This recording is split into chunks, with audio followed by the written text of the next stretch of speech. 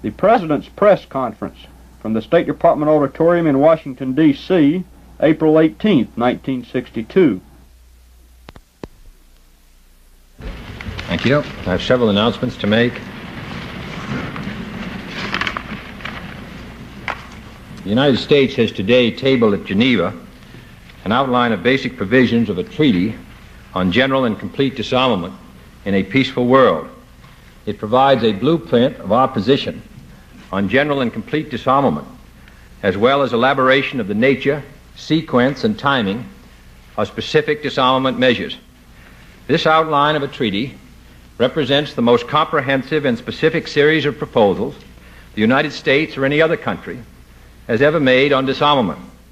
In addition to stating the objectives and principles which should govern agreements for disarmament, the document calls for the grouping of individual measures in three balanced and safeguarded stages. We are hopeful that through the give and take of the conference table, this plan will have a constructive influence upon the negotiations now in progress.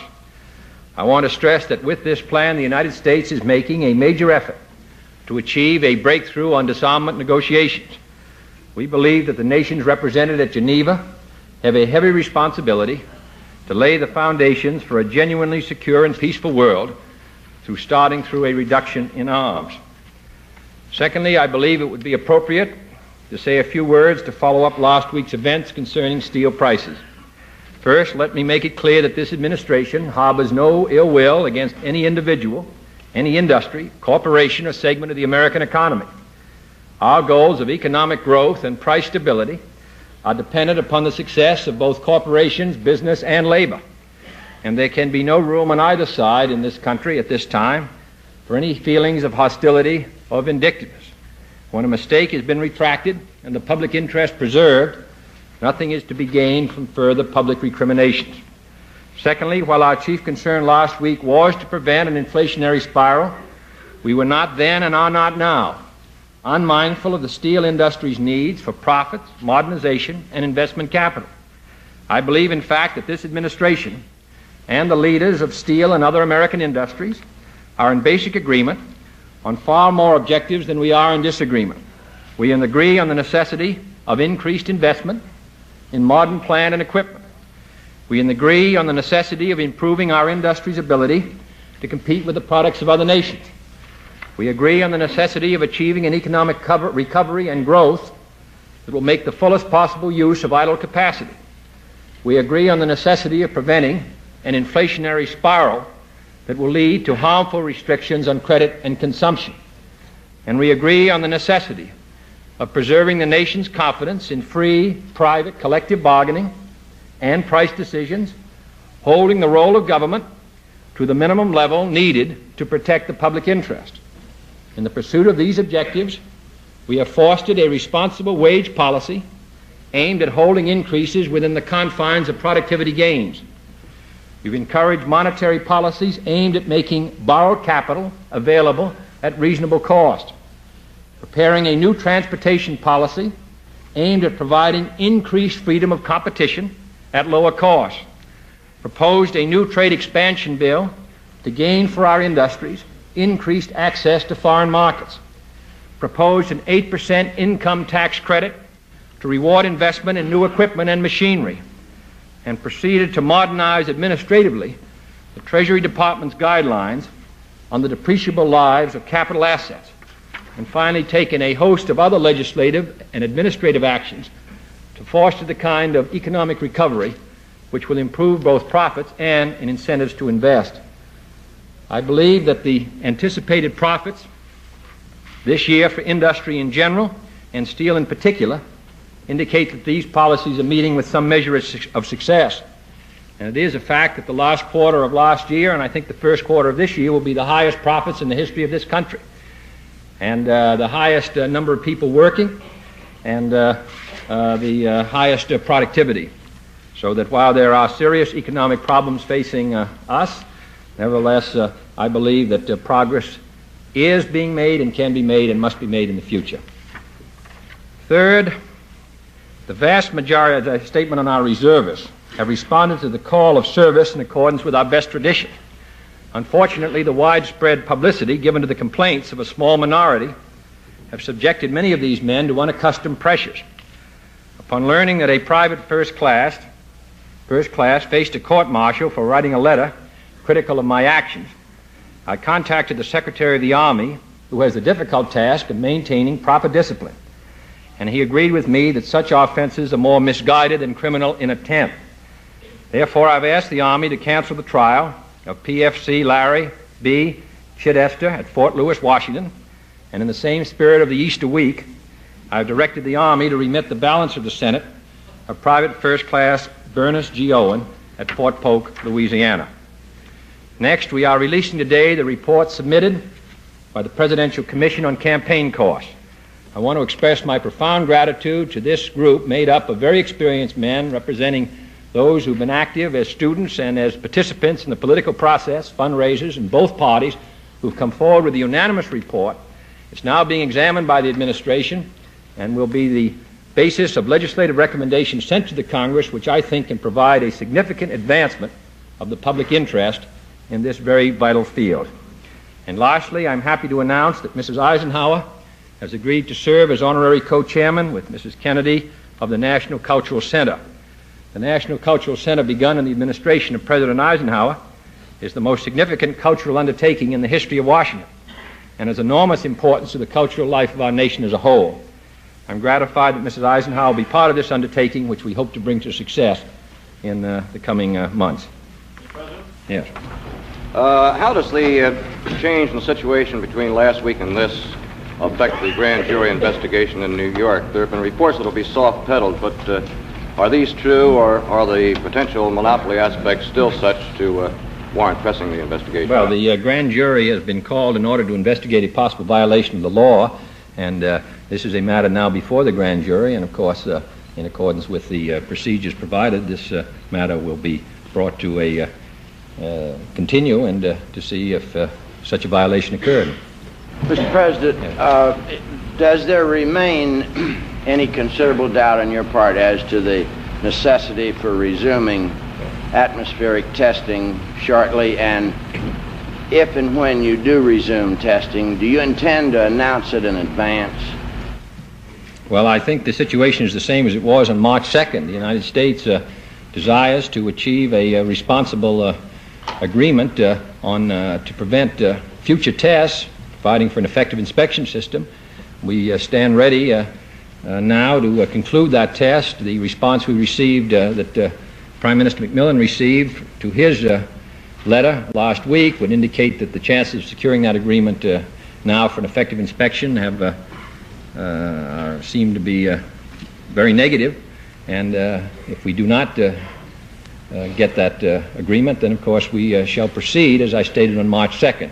In regard to any announcements that will be made, uh, they will be appropriately made at the time. President, Mr. President, there are reports that some of your top military advisors are urging the United States to help France with the development of its nuclear striking force. Uh, have you given this problem any consideration, and what do you think about it, sir? Well, I think that the uh, policy of the United States, uh, of course, uh, continues to be uh, that of uh, being very reluctant to see the proliferation of nuclear weapons. We are attempting to, in our disarmament offers that we made, uh, we are attempting, and in my speech last September before the United Nations, I said that I thought it would be regrettable if nuclear weapons prolif- proliferate, prol- proliferated or spread. And uh, uh, the, uh, so that our policy continues on, uh, uh, on that uh, basis and will continue unless uh, we feel that security requirements suggest a change. Mr. President, there's been considerable speculation that the victory you have won uh, in the steel situation uh, will uh, be of great assistance for the passage of your legislative program in Congress. Would you care to comment on that, sir? Well, I hope it's of assistance in passing the uh, tax uh, credit, uh, which is uh, intended to provide, uh, combined with price stability, a means to, for our uh, industry to modernize itself and, in fact, to encourage it. I'm hopeful, in my opinion, if the rise in prices had permitted to stand, it would have been extremely difficult to secure the passage of this legislation. I think that the line has been held provides a much better atmosphere, and I think that if this legislation is passed, it will materially help the steel companies and industry in general, and I'm uh, very uh, strongly in support of it.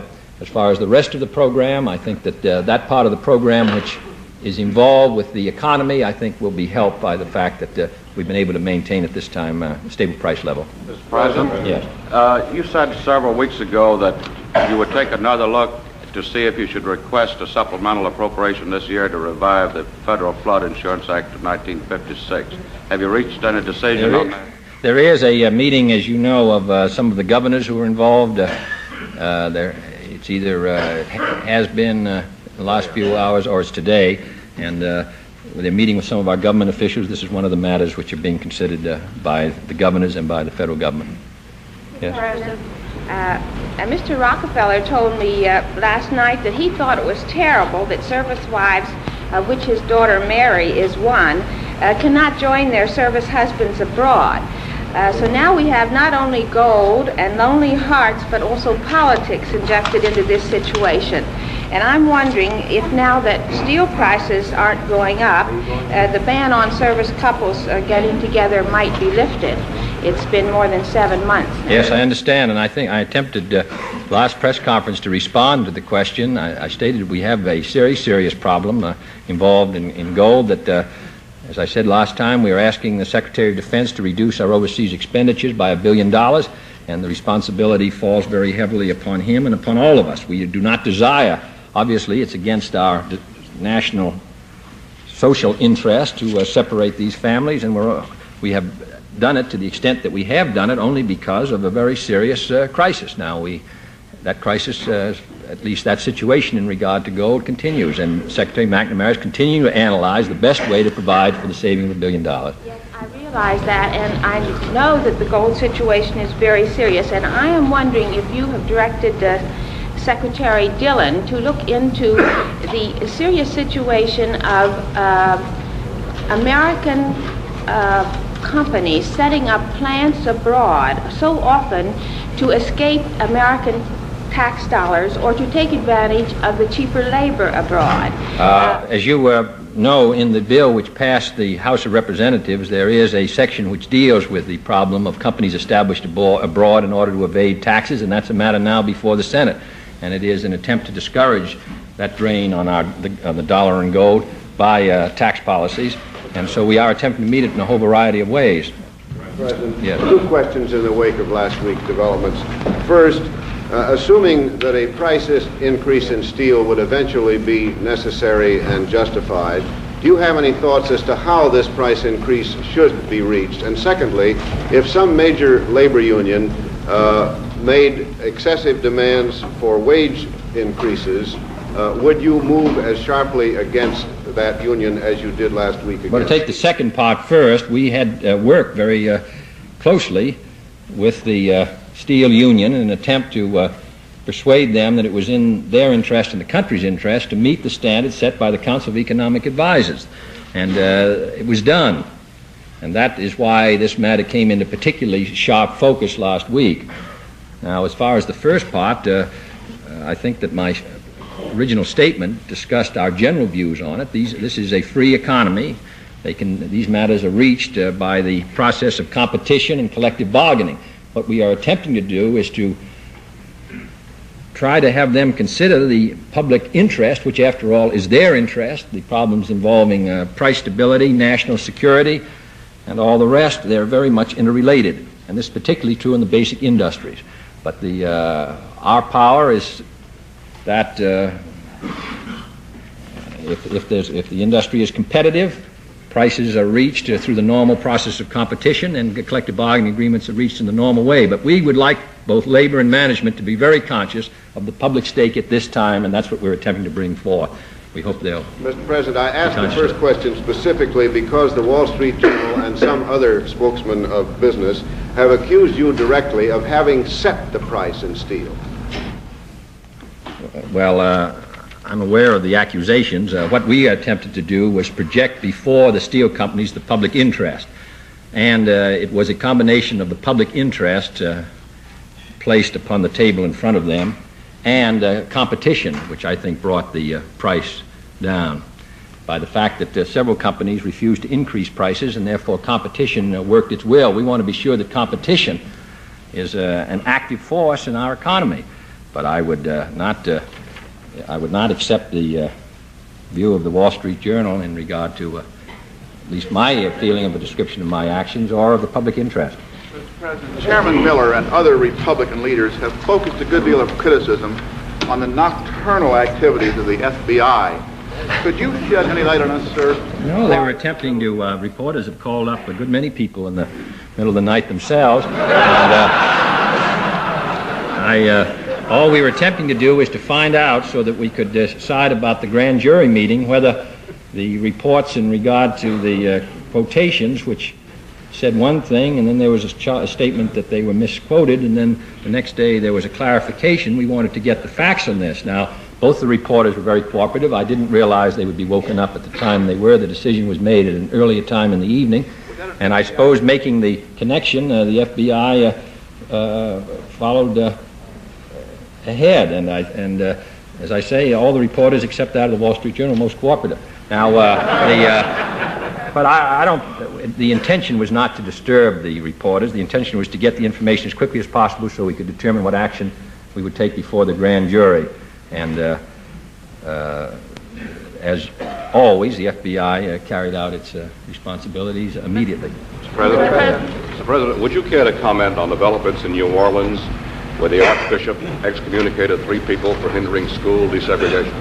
Well, the action of the Archbishop related to uh, private acts in uh, the uh, private individuals did not involve public acts or public policies, so that carrying out the spirit of the Constitution, which provides a separation between uh, church and state, I think would be inappropriate for me to comment on uh, this matter. Yeah. Mr. President, uh, last week you stated that the administration had not asked for assurances from the steel industry that prices would be kept where they were when the contracts were ratified.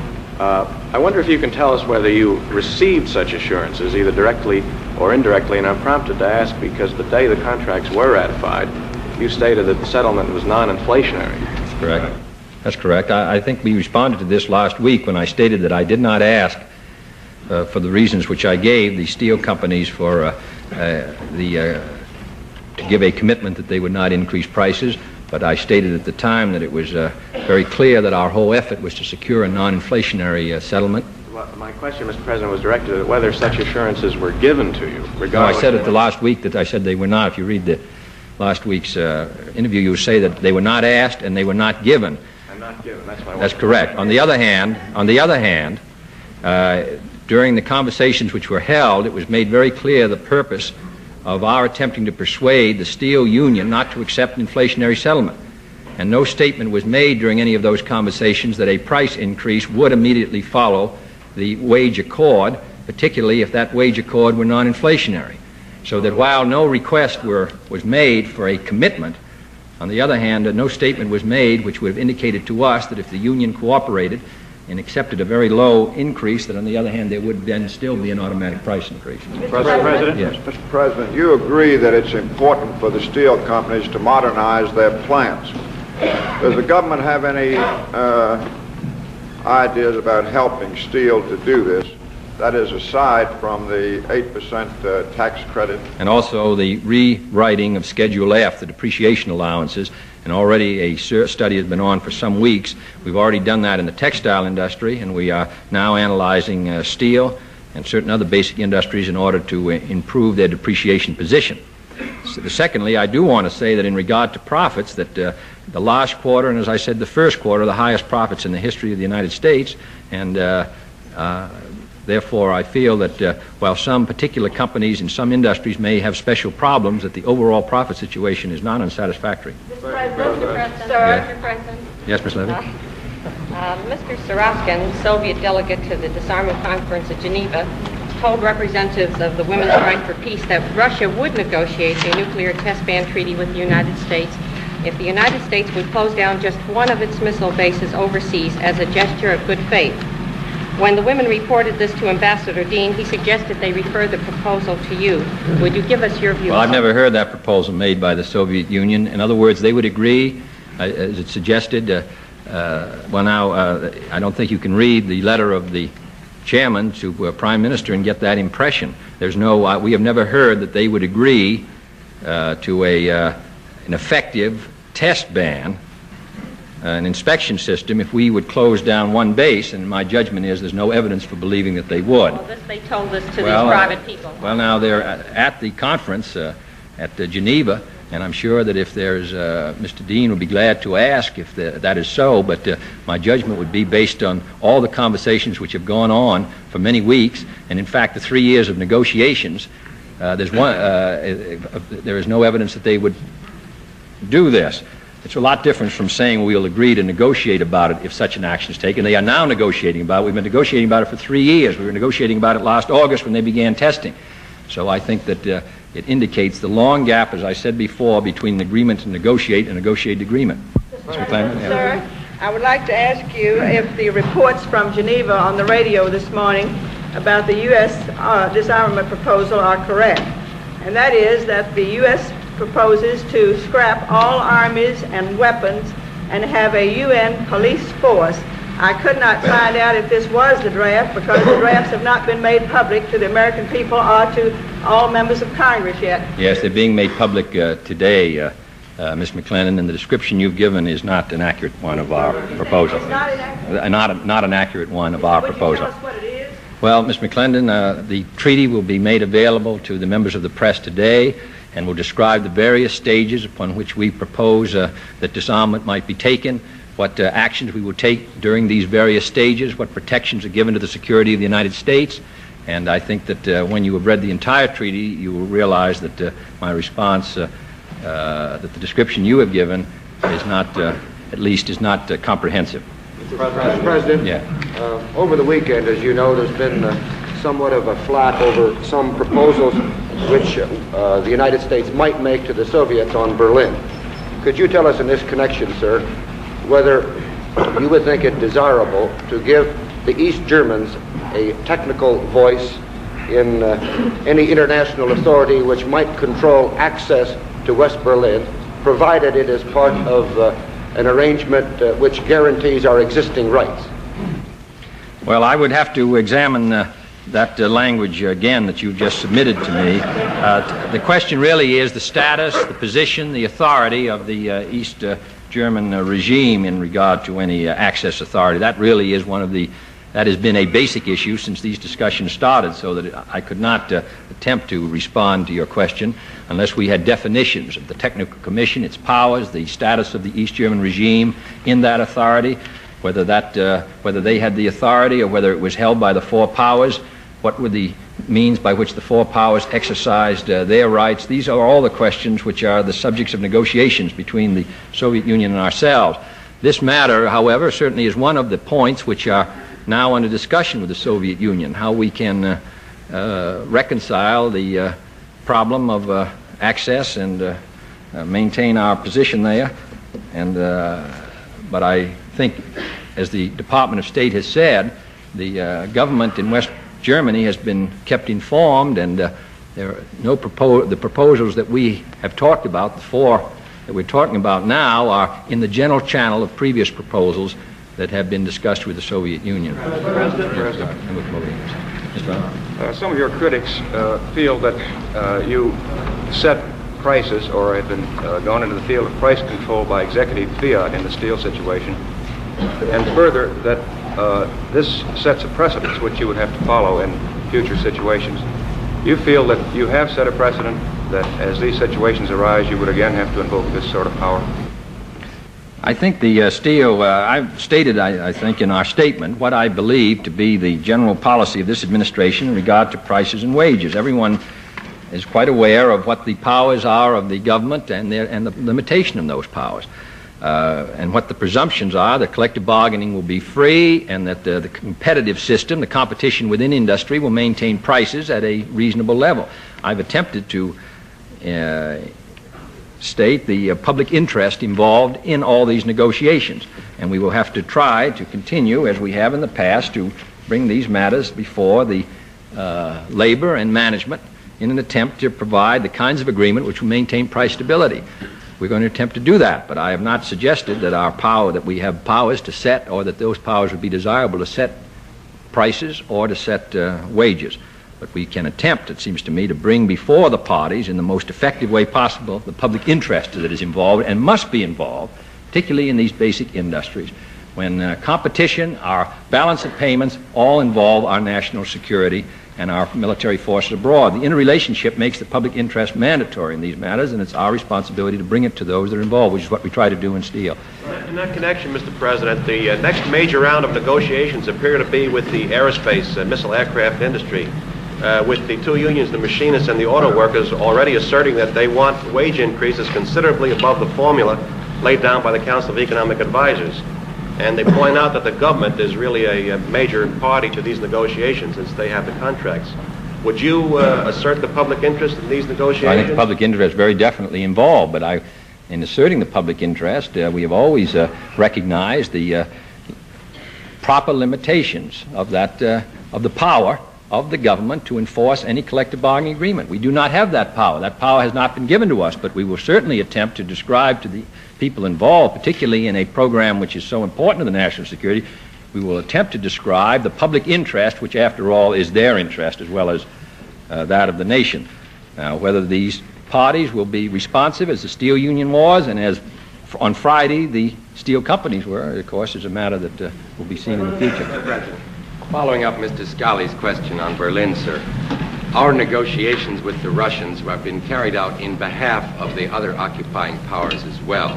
In view of the flurry he referred to over the weekend and in view of the definite French reservations, would you tell us a little bit about how we stand as, in effect, the spokesman for the four powers at this moment? Well, I think that uh, Mr. Uh, a, uh, I think von Eckardt, uh, speaking for the West Germans, uh, made uh, statement that uh, they had been in consultation with us and that uh, they had confidence in our efforts.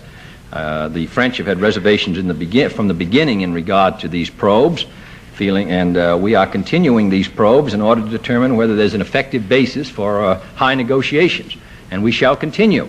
The United States, uh, this is a very dangerous area involving vital interests of both sides, which could, even though at this present time the temperature has been lowered uh, could blow up any time. And I don't think that we are meeting our responsibilities to our own people uh, if we do not take every effort, in addition to strengthening ourselves militarily and indicating a determination to protect our vital interests, to see if an accord can be reached.